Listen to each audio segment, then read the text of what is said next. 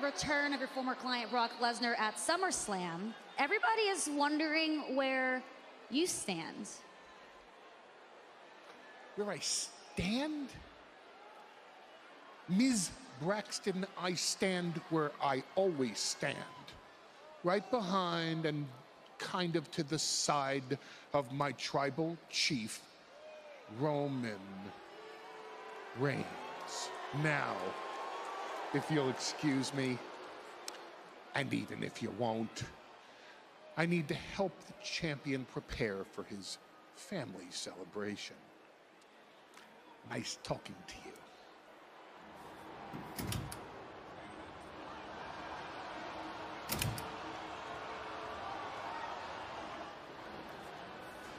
Don't you have anything better to do right now?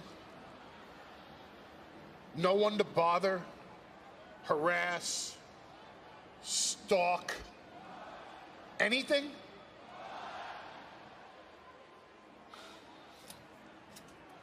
Oh, damn. What up, OG? You been out here this whole time? Oh, gee. Yeah. Good to see you, dog. Long time. The door's been locked. And I wanted to go over this whole family celebration with the three of you. Oh, Biggles ain't here yet. Uh, real talk though, Paul. You, you, you knew Brock was gonna be there at SummerSlam, didn't you? Huh? Didn't you?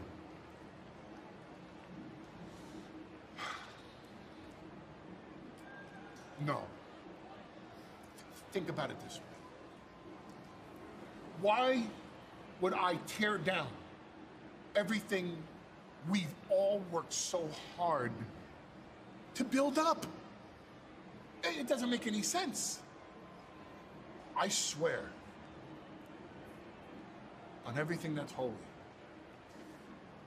I did not know Brock was going to be there. Okay, all right. But then, why did you send us to the locker room before Roman's match against Cena? Yep, yep. Just kind of felt like you knew something was up, Paul. I'm not the one that sent you back to the locker room. The tribal chief is the one that gave that. Come on, dog. You you about to pin this on the tribal chief for real? Uce, you know this family. This family is built on trust. And if you ain't know Brock was there, how come you ain't know already, Uce? Excuse us.